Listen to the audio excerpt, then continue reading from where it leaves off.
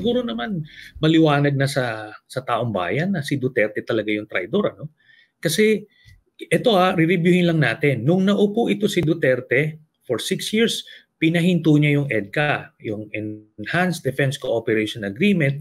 Ito yung supposed to be magbibigay ng counterbalance sa sa aggressiveness ng China. Pangalawa, pinapasok niya yung mga pogo, di ba? Tapos pati yung sa mga kampo, remember, pinayagan niya mag-set up ng mga mga ano to, towers, yung what's this? Yung uh, cell sites, yung tsaka yung mga sa mga equipment military camp. Uh-huh. Yes, mal- military camps, so pinapasok niya. Tapos yung ano pa, yung mga infrastructure projects at yung uh, third telco.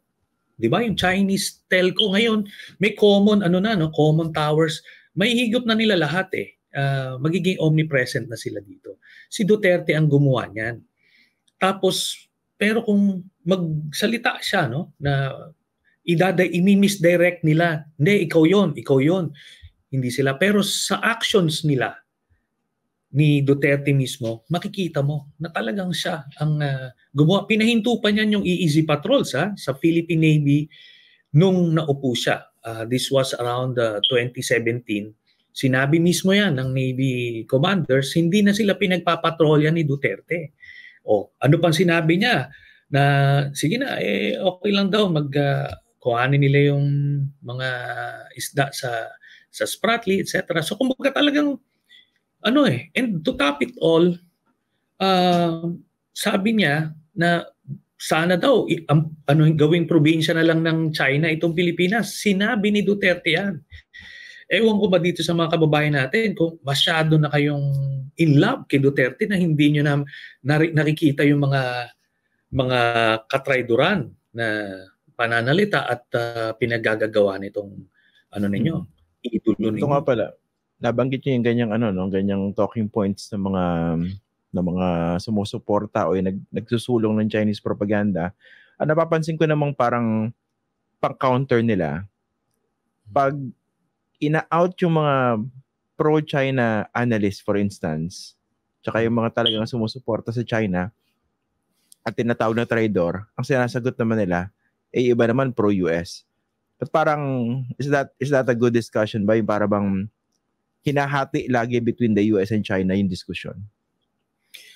Well, ganun kasi ang ang uh, mundo natin ngayon, bipolar na tayo ulit. Parang bumabalik na tayo dun sa era ng Cold War, no? On the one hand, ito yung mga uh, democracies, on the other, ito yung mga mga tyrants and uh, authoritarian uh, regimes. So, sa atin, saan tayo mamimili dito? Doon tayo doon sa kapwa natin, de- democracy, no? hindi ka pwedeng yung sasabihin mag mag-neutral ka. There is no such thing now. Siguro um 10 years ago pwede pa no kasi ano pa yung uh, lines eh, hindi pa maliwanag.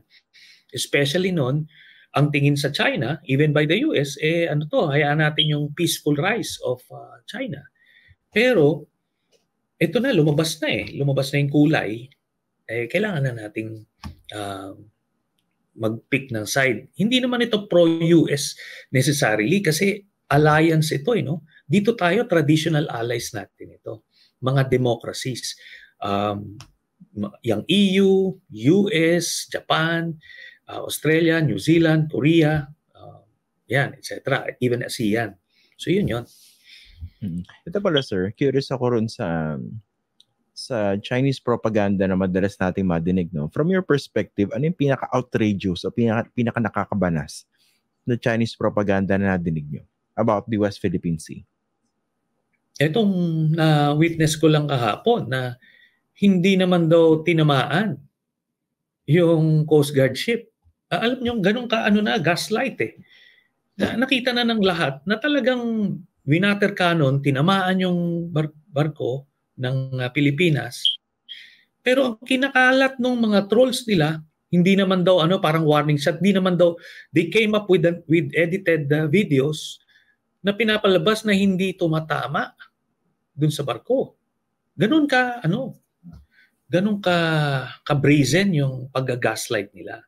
Lolokohin ka ng tahasan. Parehas ng template eh, kagaya ni ni um, Duterte, 'di ba? Kung manloko talagang hindi kumukurap yung yung mata eh.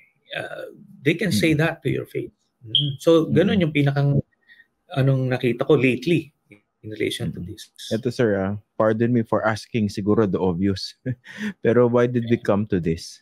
Bakit tayo umabot sa ganitong ka-aggressive na Chinese propaganda at mas maraming, parang maraming Pilipino yung talagang ano, hindi naman siguro majority, pero mas ma- nadidinig natin yung mga mismong Pilipino talagang pinopromote, pinopromote ng Chinese propaganda. Well, nalooban tayo kasi. Nalooban yung Pilipinas. Ang ginamit mismo yung presidente, which is Duterte. No? Six years silang naka-establish ng, ng ano dito, ng mga base dito uh, sa loob, sa iba't ibang sektor na lipunan. Yan nga yung sinasabi ko United Front Operations.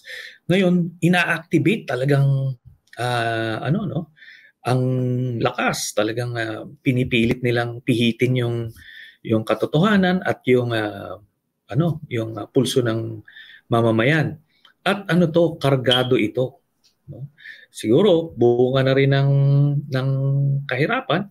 Marami mga Pilipinong, sige, eh, kahit mag-troll sila para sa China, para, para lang may kabuhayan.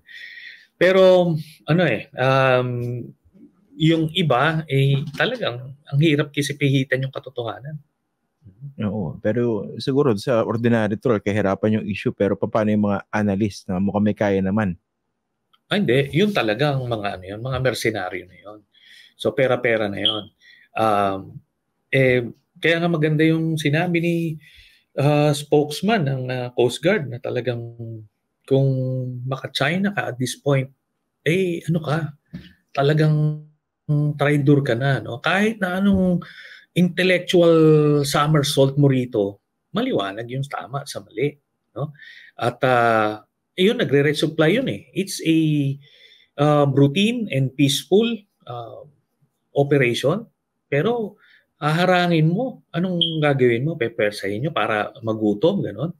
So ano sila? Uh, they are uh, pushing the envelope, no, itong aggressiveness nila, hostility nila, tinitingnan nila kung hanggang saan. Pero na-calculate nila ito. They have calculated yung, sabi ko nga, uh, they have approximated the benign response of uh, the Philippines kung gagawin nila yan. Pero ang nagkamali sila dito, ang, ang na-miscalculate nila, is nagiging unifying ano to eh uh, incident na na-alarma, nakita, nagalit. So ito na ngayon yung uh, patriotic uh, spirit ng mga kababayan natin edi lumalabas at kailangan ito ng mga policy makers uh, para pag naramdaman nila yung yung mga Pilipino ay nasa likod nila eh titindig sila. So far pala, anong tingin niyo po rin sa naging, naging response ng Marcos administration? Pati po, nung ano, kanyang mga cabinet secretaries, no? In particular, kanina, nadirig natin, or kahapon ba yun, yung talagang very firm yung sagot ng ano ng defense secretary si Gibo Chidoro. So far uh, pag tiningnan niyo after more than a year, what do you think of the Marcos response to this uh, issue? Noong una nag-aano sila no, um, ma- ma-observe mo si President uh, Bongbong is walking a tightrope kasi hindi niya alam paano niya babalansehin kasi ang ang foreign policy approach niya is friends to all, enemies to none. Kaso nga may red line eh. Ang red line ng China is the EDCA. Nung nung natawid niya 'yon, hindi na pwede yung ano lang, uh, friendly rhetoric, kailangan talaga ano, gusto nilang ma-reverse yung EDCA policy. Eh wala na 'yon, ano? There's no turning back from that. Kaya makita mo, noong una ganon, pero ito maliwanag na. Um, yung statement ni ni Defense Secretary Chodoro, hindi naman yan magsasalita ng ganon kung walang clearance yan. Alam niya na hmm. yung pulso ni uh, uh, President Bongbong at yun ang ginawa niya. And uh, ano no, uh, nakita mo kahit si si President Marcos ay ano yan, alam mo, 'di ba, yung mahinahon magsalita ano. Pero inano niya, sinabi niya doon, he, he was very firm doon sa ano niya, statement niya na hindi naman pwedeng tayo pa ang magpo-pull out sa sa ng barko natin sa lugar natin. Tapos inano niya. Um, sinabi niya kung ano man yung pangako diyan ano, eh hindi na yan. Um, rescinded yan. So yun, doon uh, maliwanag, definitive, walang paligoy-ligoy yung statement. Kung nagustuhan nyo po itong video na ito, pakilike at share na lang po para mas marami pang makakita at makapanood. Kung gusto nyo po makibalita, follow nyo na rin po ako sa aking mga social media accounts na nakasulat po sa screen. Pwede rin po kayo magpadala ng super thanks, super like, super chat at super sticker sa YouTube, saka Facebook stars po. Alam niyo po, malayo po mararating nito para makagawa pa po kami ng mas maraming video na makatutulong po sa pagpapakalat ng tamang impormasyon para sa bawat Pilipino. Kada like, subscribe, follow at share ay pagsuporta po sa tunay na independent journalism sa bansa. Maraming maraming salamat po.